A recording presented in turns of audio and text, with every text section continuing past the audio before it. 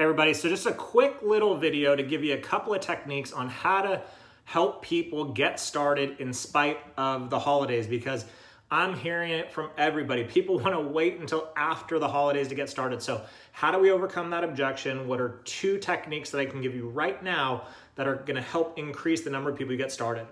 So first, when it comes to people that are looking at this from a product transformation perspective, people who really for the most part just want to be customers they're saying to you things like, you know what, I want to wait until after the holidays because I don't have the money or whatever may be. And so, what you can teach them, you can teach them how to find the money. And what's a great way to do that? Well, you do it through fundraising. Here's what I mean.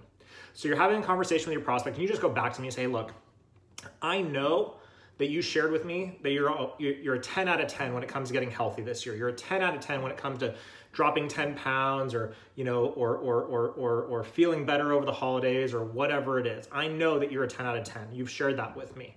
So what I'd like to do is I'd like to help you find the money to get started before the holidays start. That way you can go into the holidays feeling good as opposed to coming out of the holidays feeling sluggish. How does that sound? They're to say, "Well, that sounds great. What do you mean?"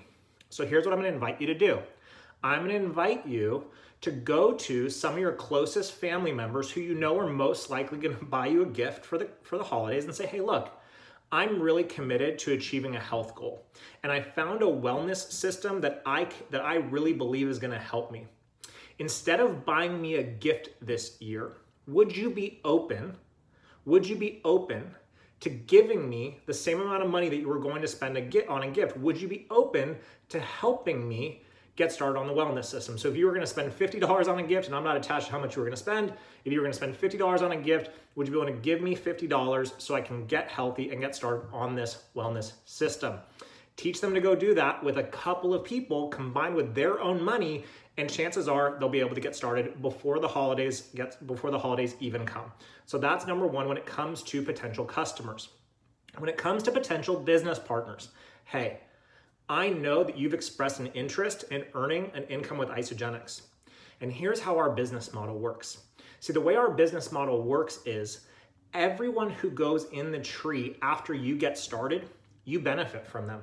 You benefit from all the volume from everything that ever happens after you. And here's what's really exciting.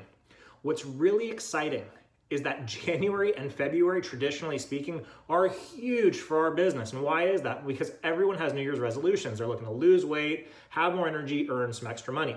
So, traditionally speaking, what we're gonna see in our business is we're gonna see a nice new slew of people come into the organization. And knowing that you're interested and excited about making an income with Isagenix, what I'd love to do is I'd love to position you. I'd love to position you to take advantage of all the volume that's going to come in starting on the first of the year because we're going to do it big this year. We're going to do it big. And I would hate for you to miss out. I would hate for you to miss out on all of what's going to happen when people start to come to us with their New Year's resolutions. And so you, again, so two-step process. One, teach your customers how to fundraise a little bit by reallocating gift money to Isagenix.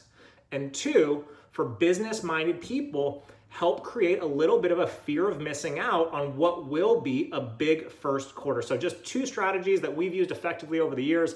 I hope you find value in this. As soon as you're done watching this video, tag some of your team members below so they can hear about this too. Have a great, great, great Thanksgiving if you're in North America and if you celebrate it. And if you don't, have a phenomenal rest of the week anyway. We'll talk to you soon.